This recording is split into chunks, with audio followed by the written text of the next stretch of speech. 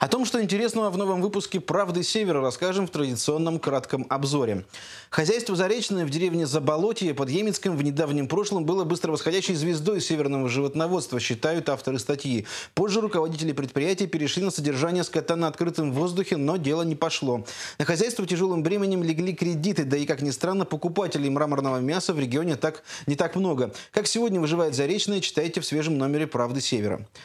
Набережная Северной Двины принадлежит всем, так считает профессор САФУ Юрий Барашков. Поэтому, по мнению эксперта, нельзя строить транспортно-пересадочный терминал на площади перед Архангельским морским речным вокзалом. Строительство необходимо остановить, потому что здесь совершается очень большая градостроительная ошибка. Какая? Ответ на этот вопрос вы найдете в колонке Архангельского краеведа, историка и ученого в сегодняшнем номере «Правды Севера».